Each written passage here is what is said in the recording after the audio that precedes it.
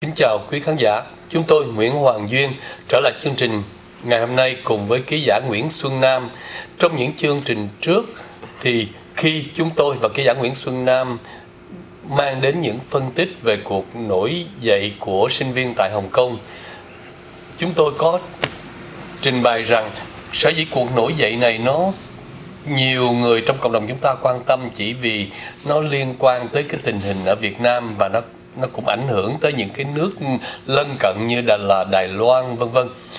Và qua những cái phân tích vừa rồi đó thì cái giảng Nguyễn Xuân Nam có trình bày một cái thế mà theo chữ nghĩa của cái giảng Nguyễn Xuân Nam đó thì là đó là cái ma trận cái ma trận giữa phe nhóm của Tập Cận Bình phe nhóm của Giang Trạch Dân và sinh viên nhân dân ở Hồng Kông. Cho nên ngày hôm nay với những diễn biến gần đây nhất chúng tôi trở lại mong rằng đem đến quý khán giả những phân tích mới dựa trên những cái tình hình vừa xảy ra trước hết xin uh, kính chào ký giả Nguyễn Xuân Nam Xin uh, chào luật sư Nguyễn Hoàng Duyên và một lần nữa trân trọng kính chào quý vị. và ký giả Nguyễn Xuân Nam có thể cập nhật những diễn biến gần đây nhất ờ, về cái tình hình hình ở Hồng Kông cho đến ngày hôm nay là ngày 14 tháng 10 của năm 2014 thưa anh.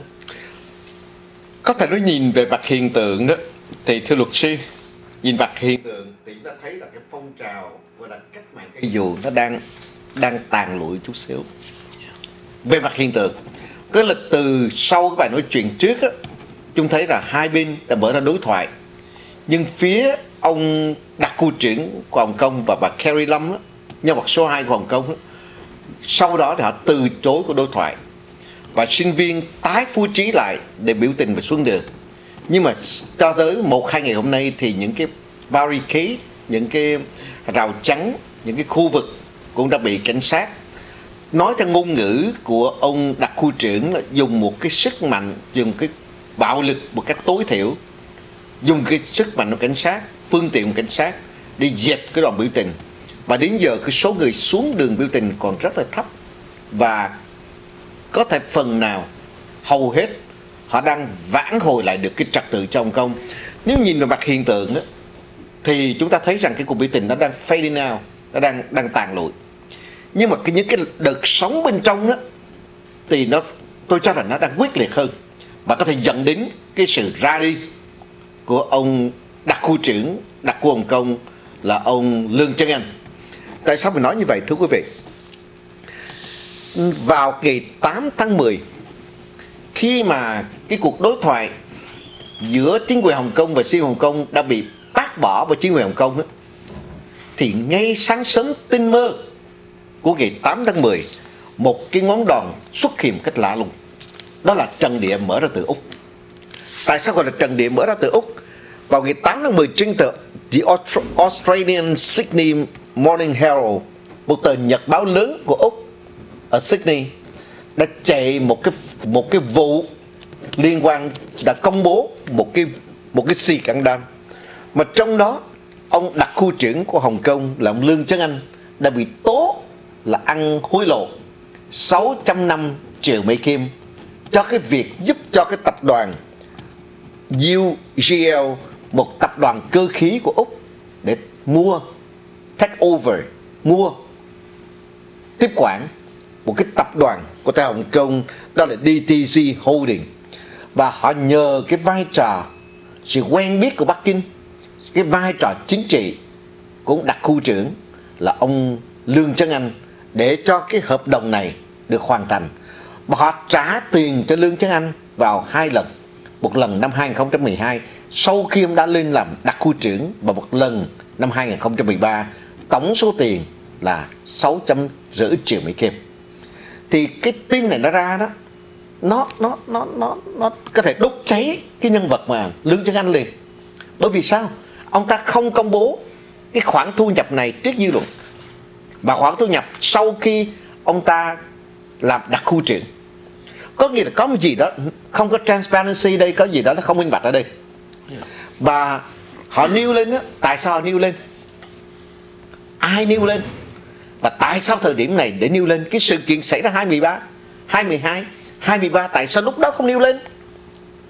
Mà ngay lập tức cái tờ mà The Australian Sydney Morning Herald được đưa ra đó ngay sau khi cái tờ mà The Australian Sydney Morning Herald tung ra thì luật sư có thể tưởng tượng rằng cái đài VOA nhập cuộc. Và luật sư có biết rằng đài VOA ấy, là đài chịu cái sự chi phối của chính phủ Hoa Kỳ.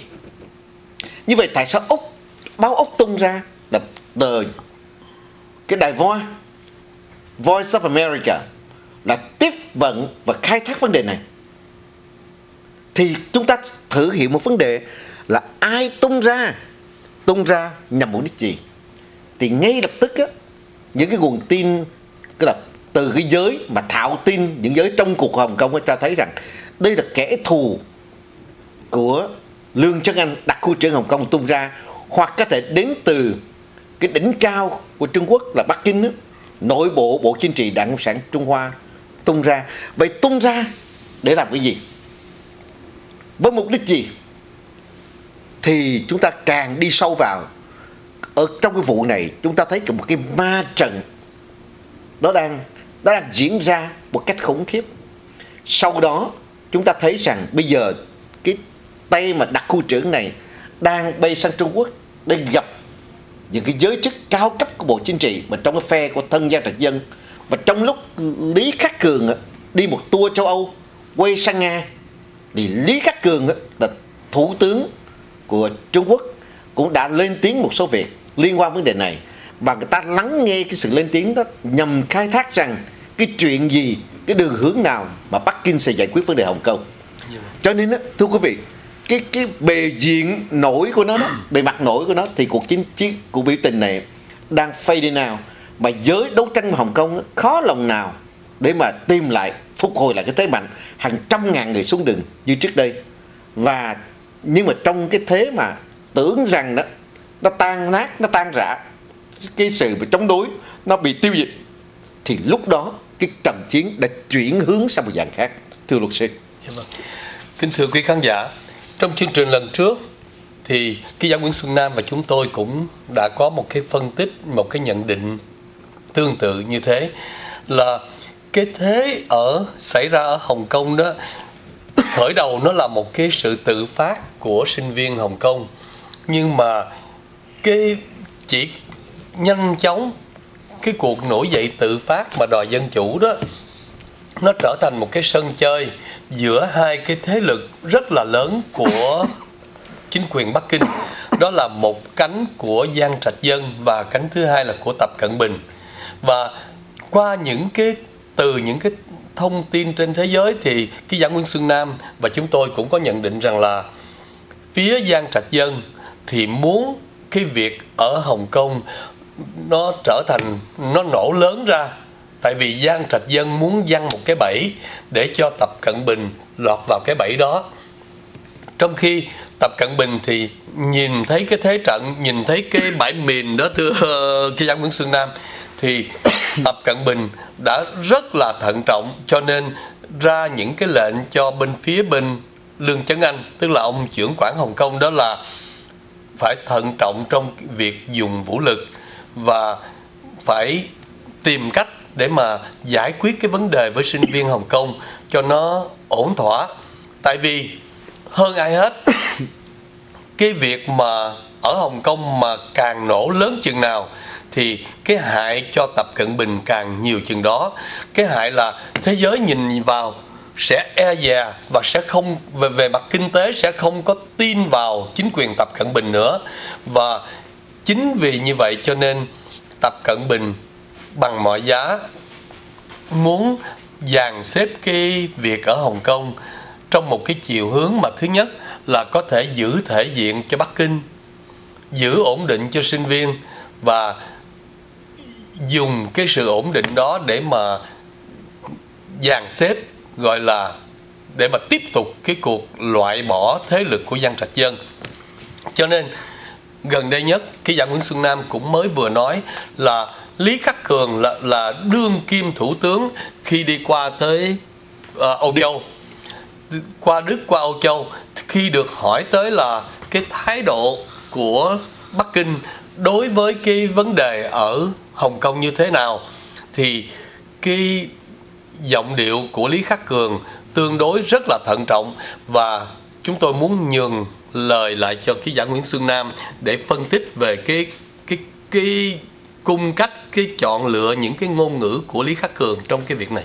Ờ, chúng ta thấy cái cái cách cái lời nói cái cách nói của Lý Khắc Cường thủ tướng của Trung Cộng đó, nằm trong cái bối cảnh ma trận Yeah.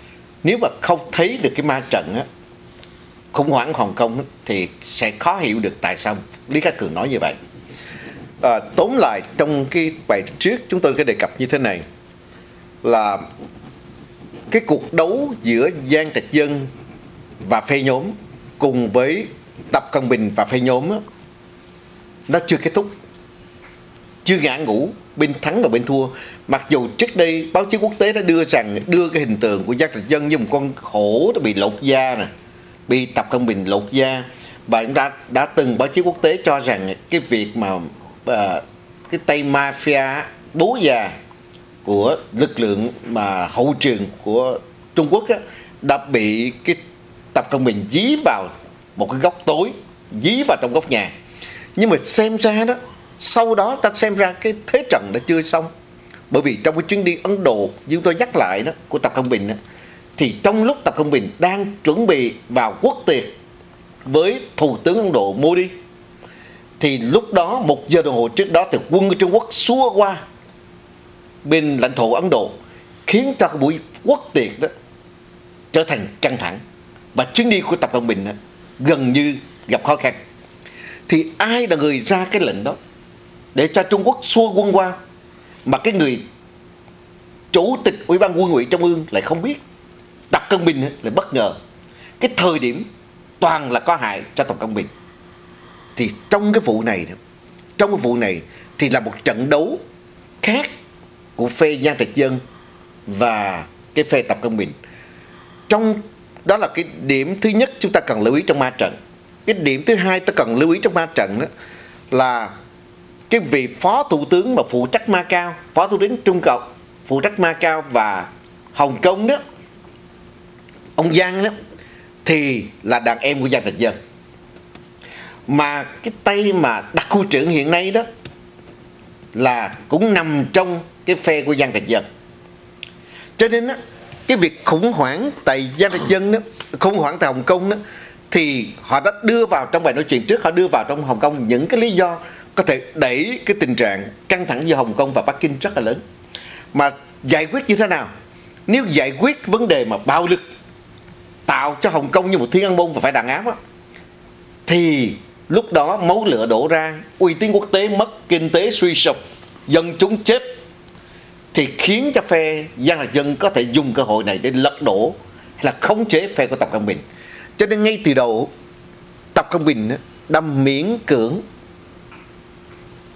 đang ngại ngùng dính líu vào cái trận địa của cho Hồng Kông. Và trong cái chuyến đi tại Âu Châu hiện nay đó Lý Khắc Cường một lần nữa khẳng định điều gì nè? Bắc Kinh miễn cưỡng mới dính vào Hồng Kông.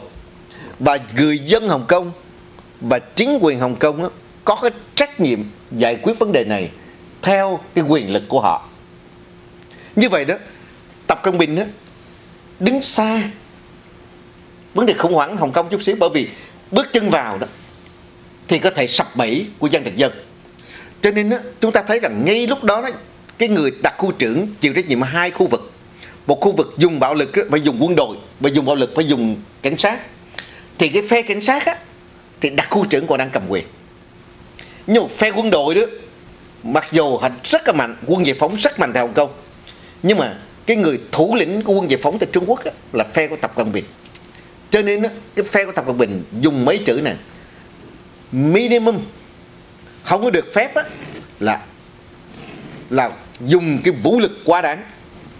Và tất cả mọi di động của quân đội tại Hồng Kông đó, phải có lệnh của Tập Cận Bình. Trực tiếp phải nghe theo lệnh của trực tiếp của Tập Cận Bình. Như vậy đó, chúng ta thấy rằng Tập Cận Bình đã ra một cái lệnh và đưa người này vào chỗ này để khống chế, không cho phép để Hồng Kông xảy ra một thiên môn đàn áp như thiên môn thứ hai. Bởi nếu đàn áp thiên môn thứ hai thì ra vào cái bẫy của Giang Trạch Dân. Trong khi đó đó, cái phía của Giang Trạch Dân thì muốn tạo cái sự căng thẳng. Thì bây giờ chúng ta thấy điều gì? Cái bây giờ tạo căng thẳng á, thì cái phong trào đó đã đi xuống rồi trên cái mục đích của tập cận bình để chiến thắng Giang Trạch Dân đang thành công, mà mục đích của Giang Trạch Dân đang thất bại tại Hồng Kông. Và khi đó mà cái thức, cái cái tiết lộ về cái vụ hối lộ 6 triệu rưỡi bi kim của Lương Dân Anh được tung ra đó, thì dẫn đến một hiện trạng dân chúng phẫn nộ. Dân chúng Hồng Kông lâu nay đó coi Lương Dân Anh là một tay nằm vùng giống như luật sư duyên trước đây cái nhìn thấy á, những người Sài Gòn họ phẫn nộ với những người cộng sản nằm vùng tại Sài Gòn. Cái loại mà ăn cơm quốc gia mà thợ ma cộng sản á cái người Sài Gòn họ phẫn nộ. Cho nên bây giờ người Hồng Kông nó phẫn nộ y chang như vậy nó coi Lương trắng Anh là một tay nằm vùng của Bắc Kinh từ lâu.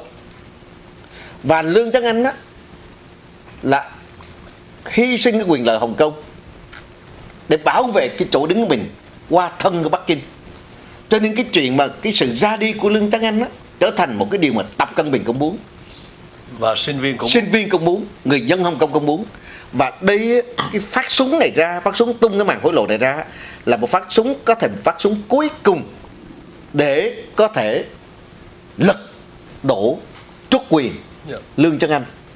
Thì trong khi mà sau cái vụ mà cái vụ tung ra cái hối lộ này lương chân anh bay sang ở quảng đông gặp tay phó thủ tướng trong lúc đó đó thì sinh viên á, ra một cái một cái lá thư không niêm.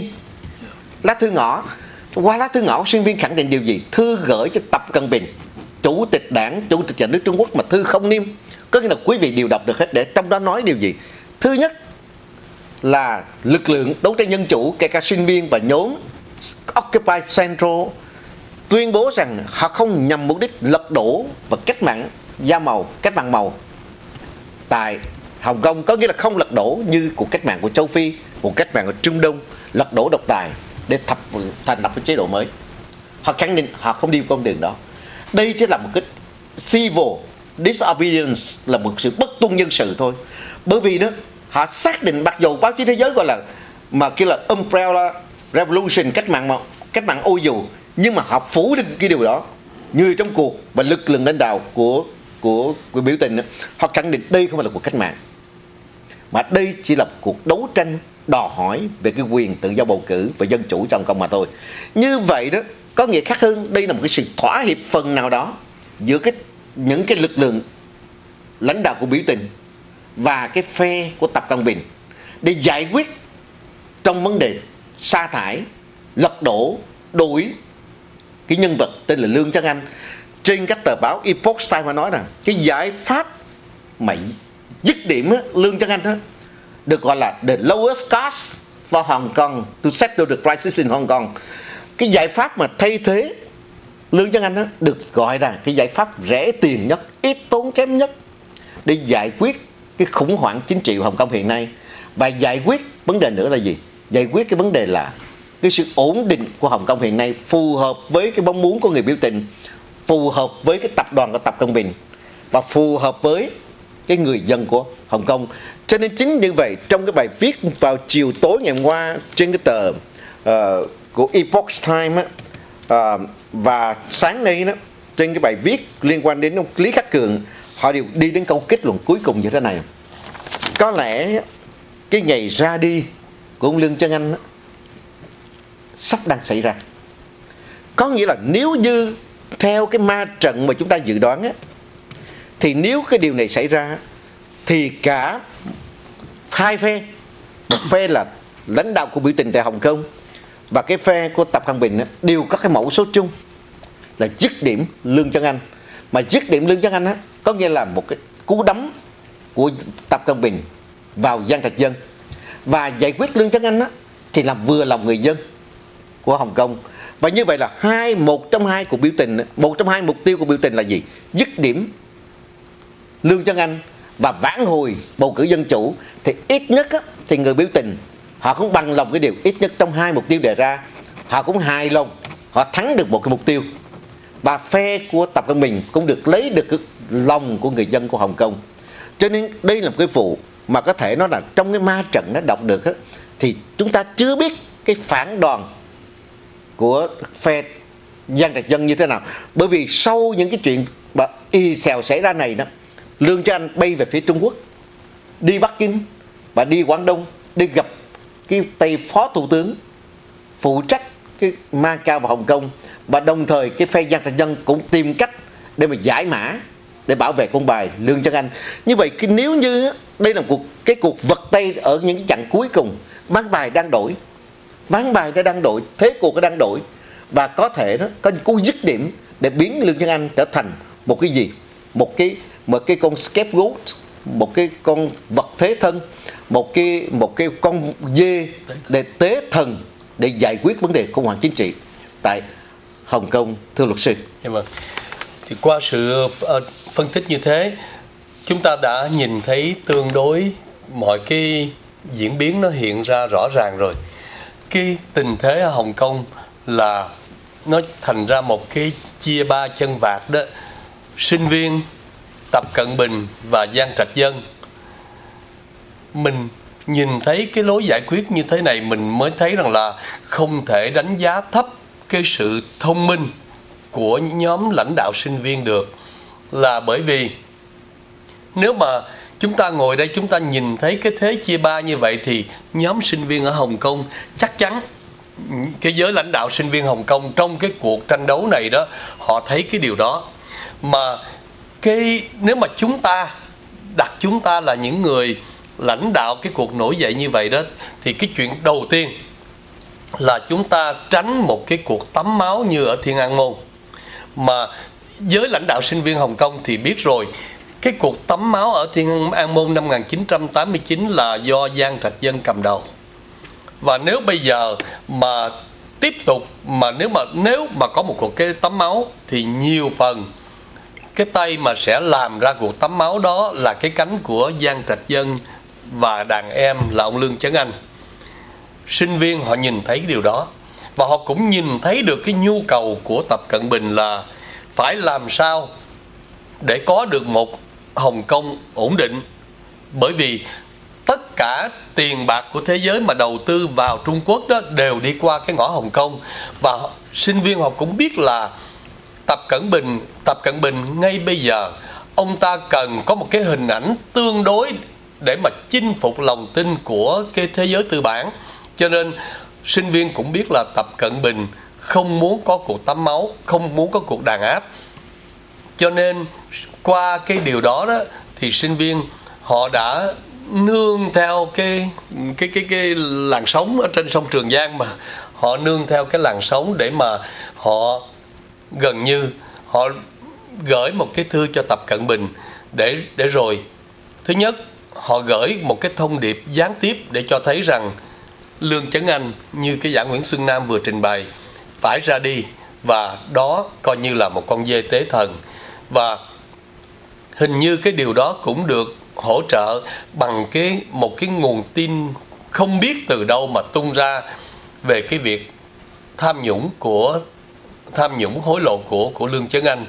Cho nên, rồi ra cái sự việc bây giờ ở Hồng Kông, như cái giảng Nguyễn Xuân Nam trình bày đó, là về mặt nổi, mình thấy nó đang nguội dần, nó đang dịu dần. Nhưng mà sau khi mà phía của Giang Trạch Dân và Lương Chấn Anh bị loại ra rồi đó. Có thể cái cuộc chiến đấu của sinh viên Hồng Kông cho cái nền dân chủ nó lại thêm gây gây gắt. Nhưng mà được một điều là qua cái đợt này, chúng ta thấy là sinh viên Hồng Kông họ làm được hai cái thành quả mà mình phải ghi nhận.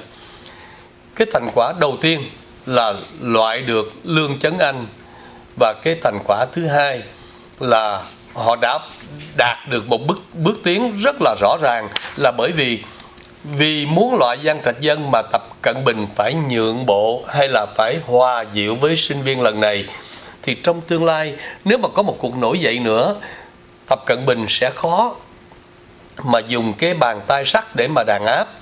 Thì tất cả hai cái điều mà sinh viên Hồng Kông đạt được đó, họ lại đạt bằng một cái cung cách rất là văn minh rất là trật tự và nhất là họ đã gọi chuẩn bị với nhau cái giảng Nguyễn Xuân Nam có thể trình bày sơ sơ về cái quyển cẩm nang của những người đi biểu tình ở Hồng Kông thưa anh? Ờ, thưa quý vị, ờ, như lúc đầu chúng ta thưa quý vị cái cách mà người Hồng Kông biểu tình không phải theo cuộc một cái cuộc cách mạng. Yeah. Ờ, tại vì đó, họ biểu tình rất lịch sự, họ trở thành một cái khuôn mẫu, một cái role model, một cái cái khuôn mẫu cho cuộc cái cái cuộc đấu tranh. Và theo cái kiểu mà chúng ta nghe nói đến đó, là bất tuân dân sự. Tức là họ họ bất tuân dân sự nhưng họ không bạo động. Họ tránh bạo động họ tránh vũ khí họ tránh những giết chóc giết chết. Họ tránh một cái cuộc lật đổ như cái cuộc cách mạng mà đã diễn ra và báo chí Trung Quốc hay báo chí Hồng Kông gọi là cách cuộc cách mạng màu như ta từng thấy ở tại các quốc gia ở tại châu Phi hay tại Trung Đông trong mấy năm vừa qua. Họ rất lịch sự thưa quý vị. Chắc chúng tôi không lặp lại ở đây nhiều để cho quý vị cũng đã nghe nói nhiều. Tuy nhiên nếu giả dụ rằng chúng ta ví dụ nếu mà cái phe tập công bình đã nương vào cái người dân hồng kông và nương vào những cái cuộc biểu tình này để thanh toán đóng ngọt bài ngọt theo kiểu nói trong nước á, một cái đối thủ chính trị ở một cái con xe con pháo con ngựa trong ván cờ tướng giữa tập công bình và dân thực dân đó, đó là ông lương chân anh đó thì vấn đề đặt ra các phải của biểu tình sẽ kết thúc chưa? Cuộc đấu tranh đã kết thúc chưa? Thì luật sư duyên đã mở cho quý vị một cái nhìn là cái gì? Là một cuộc đấu tranh khác về về cái số phận và cái tương lai Hồng Kông vẫn là vấn đề lớn mà chưa kết thúc trong chỗ này. Chúng tôi trong ví dụ chúng ta nhìn lại mới thấy như này nè.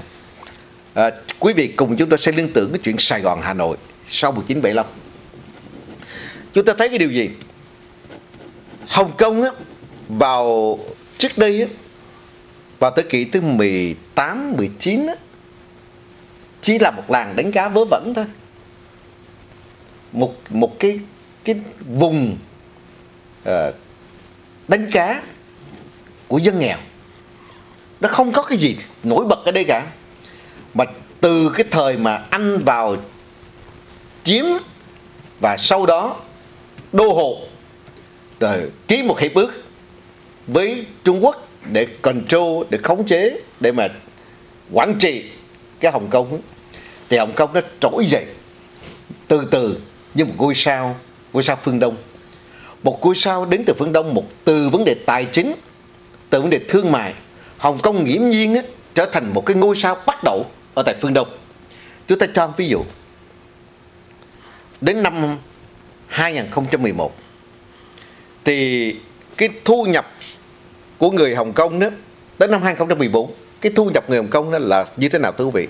Nó trên thu nhập bình quân trên đầu người đó, nó per capita income đó, nó lên đến mức độ nào thưa quý vị? Lên tới khoảng 53.000 mấy trăm Mỹ Kim cho một năm.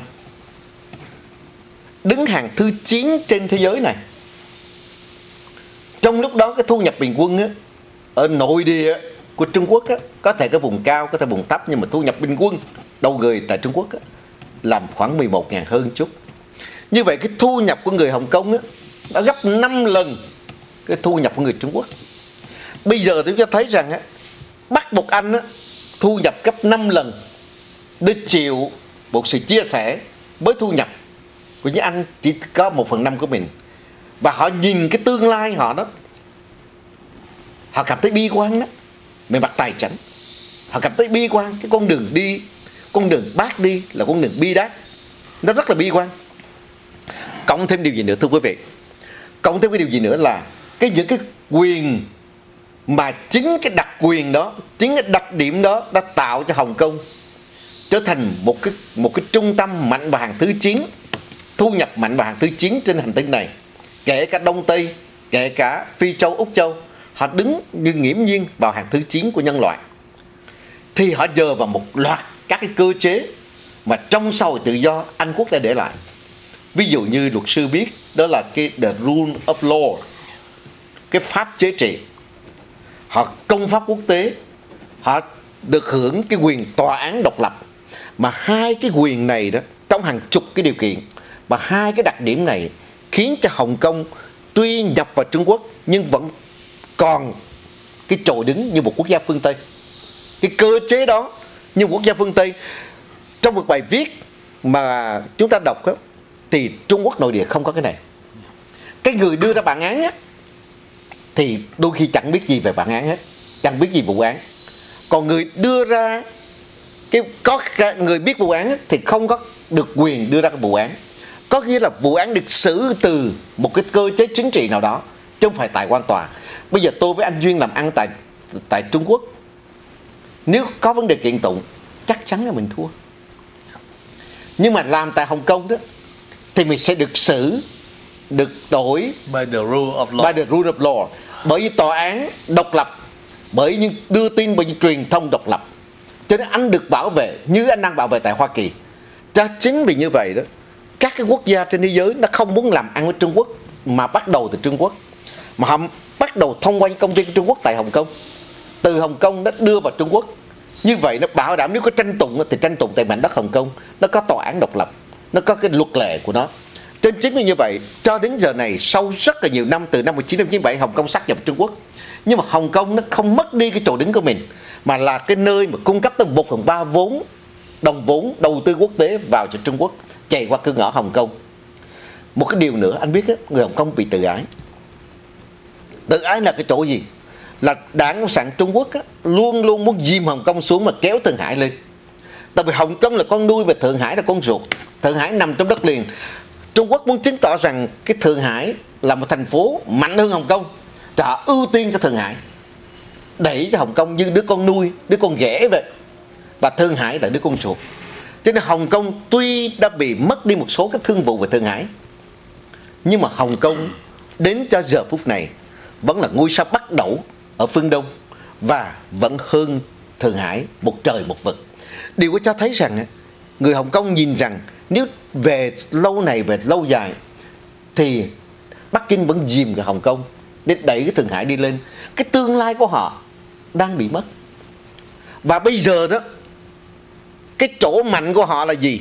Là một nền dân chủ pháp trị, là các quyền tự do, là tự do truyền thông, tự do hội họp, là một tự do tòa án, độc lập tòa án và cái luật trị đó đang bị Bắc Kinh muốn xóa cái này.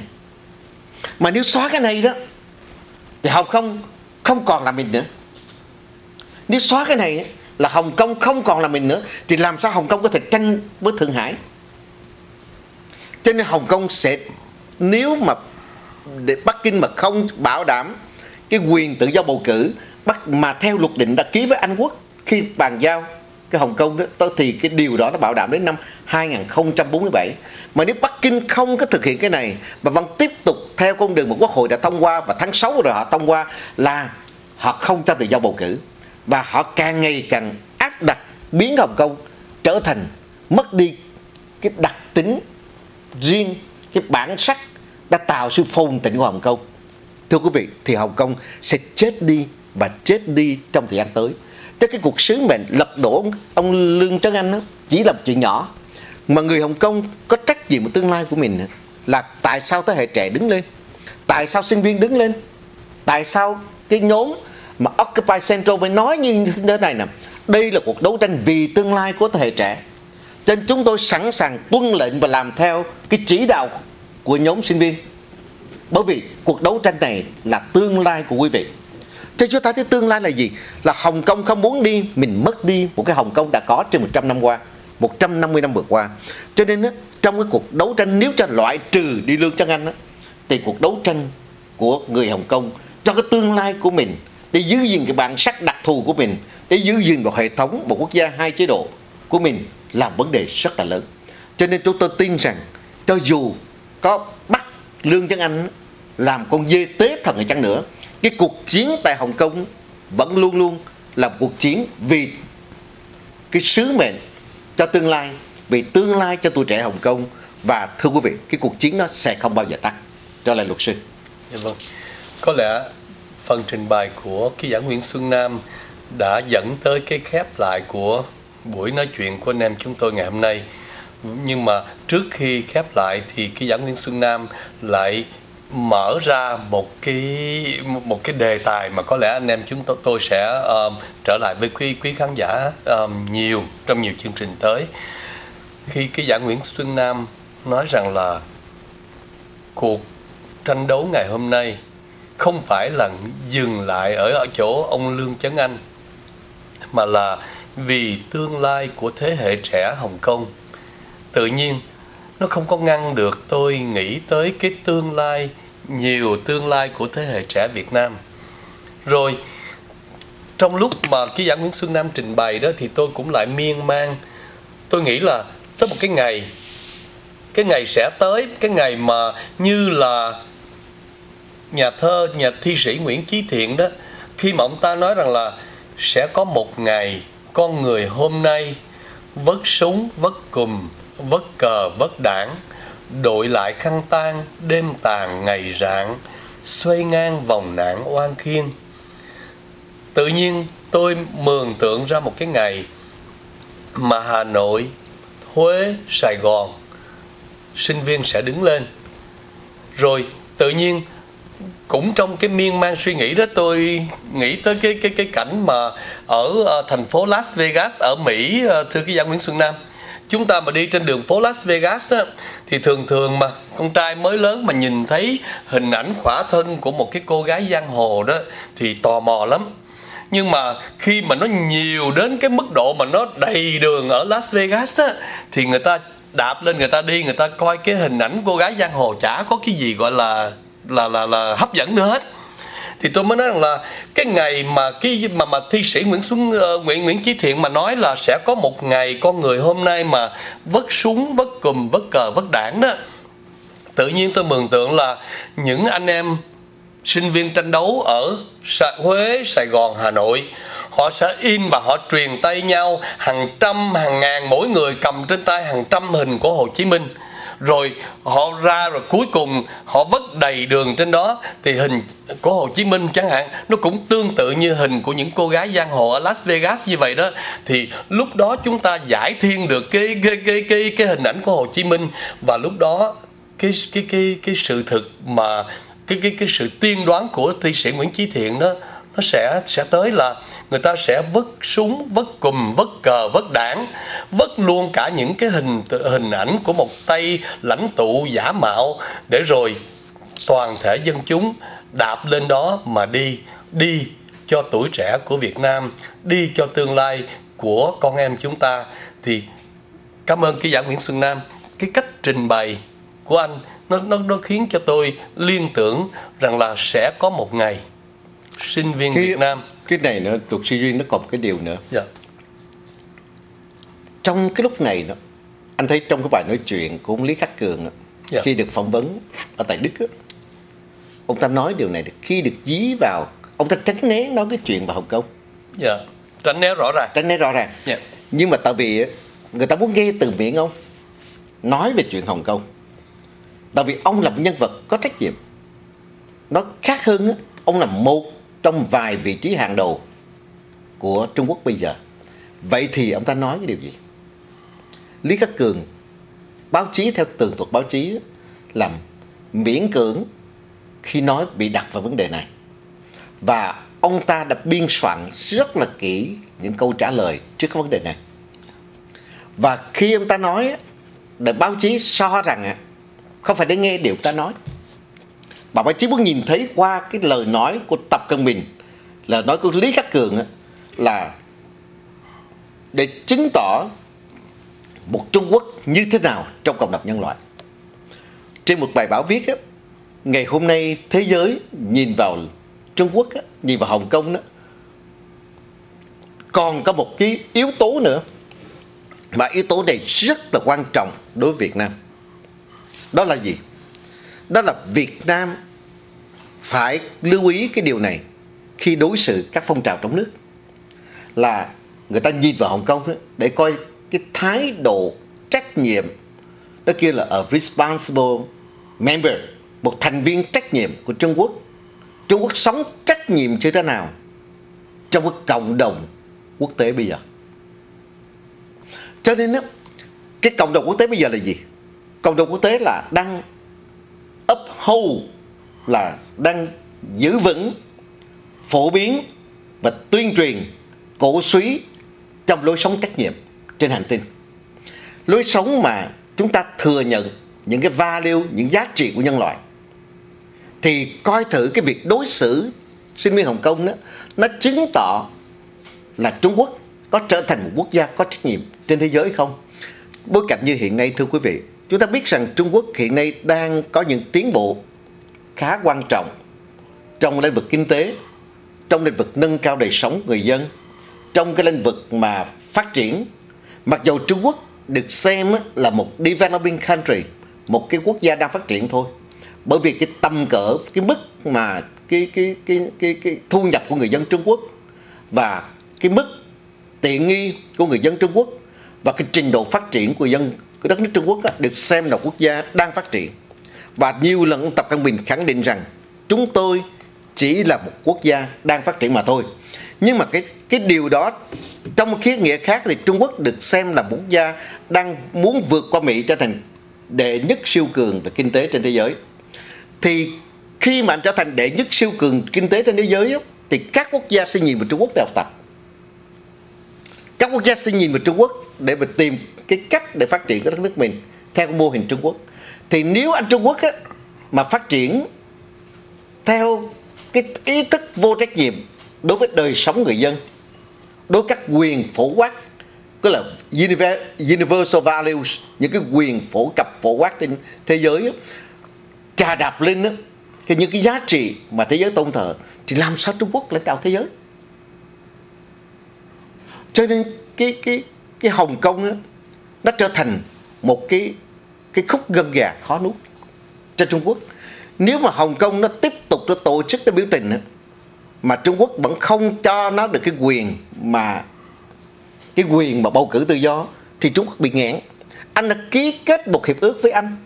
Và thế giới đều biết là người Hồng Kông được những cái quyền tự do căn bản đó được sống trong chế độ như cũ cho đến năm 2047 bây giờ mới nó 2014 à mới 2017 à, còn 30 năm nữa. Anh không có tôn trọng cái điều đã ký. Anh không có tôn trọng cái luật hợp đồng. Anh không có tôn trọng cái chữ ký của anh với các cộng đồng các quốc gia lớn trên thế giới. Thì ai dám tin những điều mà Trung Quốc sẽ ký sau này? Cho nên Hồng Kông không còn là chuyện của Hồng Kông và Trung Quốc. Mà Hồng Kông là cái chuyện mà người đời sẽ nói đến về Trung Quốc trên thế giới này trong nhiều năm tới. Cho nên thưa quý vị, chúng ta theo dõi về Hồng Kông. Chúng ta theo dõi Trung Quốc không phải để chống Tập Cận Bình, không phải để chống Giang Trạch Dân, không phải đứng ủng hộ hay chống những người biểu tình.